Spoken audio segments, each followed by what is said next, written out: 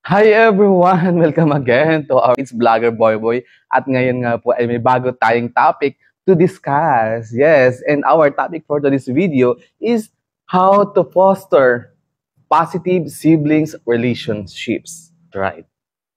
You heard it right. Yeah. It's normal for parents to feel overwhelmed. How did this argument start anyway?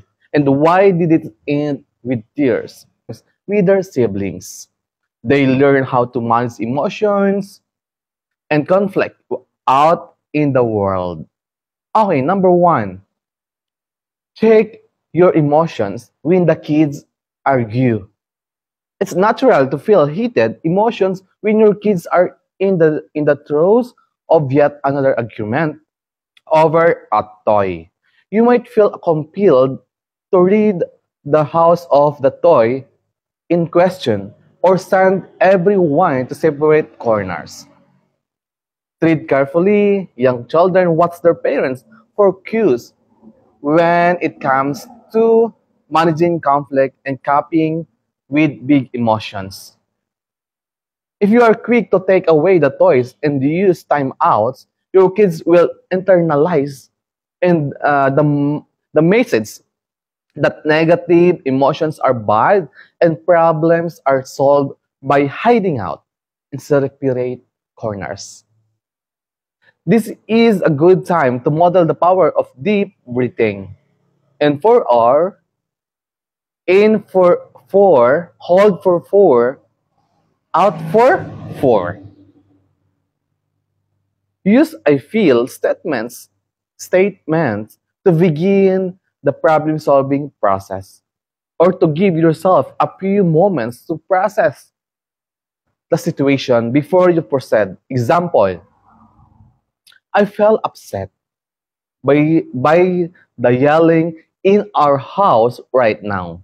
I need to think clearly to help you guys, to help you guys. Let's take three deep breaths together and then try to solve the problem. Next, encourage siblings to nurture one another. It's day before school. Whisper your daughter, whisper to your daughter that take good care of your brother today. Then turn around and whisper for your son to keep an eye on your sister. When we teach our when we teach our kids that they always have each other for help, support, or just to have fun, they get the message that their relationship is grounded in unconditional love. When one sibling is hurt, encourage another, another to check on her when one needs help with a task. Encourage, encourage the others to jump in and get the job done. When they argue some, uh, over something, help them realize or help them verbalize their feelings using I feel statements so that I ca- you can uh, listen to and empathize one with another. Next, create sibling special time. We talk a lot about the importance of parent-child special time.